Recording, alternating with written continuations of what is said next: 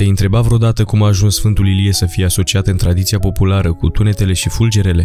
Încă de la început îți propun un exercițiu. Dacă închizi ochii și te gândești la Sfântul Ilie, cu siguranță îți vine în minte imaginea în care marele proroc merge pe cer într-un car din lemn înconjurat de flăcări. O imagine pe deplin justificată până la urmă pentru că și în viața Sfântului Ilie citim că a fost răpit la cer într-un car de foc fără a trece prin moarte.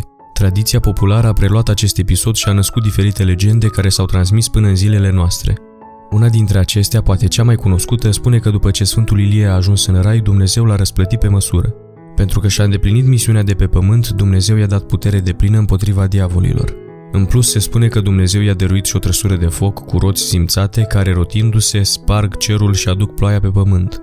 Potrivit legendei, atunci când fulgeră și trăsnește, Sfântul Ilie a mai omorât un diavol pe pământ auzindu-se de fapt sunetele loviturilor. Desigur, aceasta este doar o tradiție care nu are vreun fundament teologic sau vreo menționare în sinaxarele bisericii. De aceea, în calitatea noastră de creștini, trebuie să fim mereu selectivi și să luăm din tradițiile populare ceea ce ne este de folos. Și mai mult decât atât, să nu confundăm niciodată legendele cu Evanghelia și învățătura bimilenară a Bisericii lui Hristos.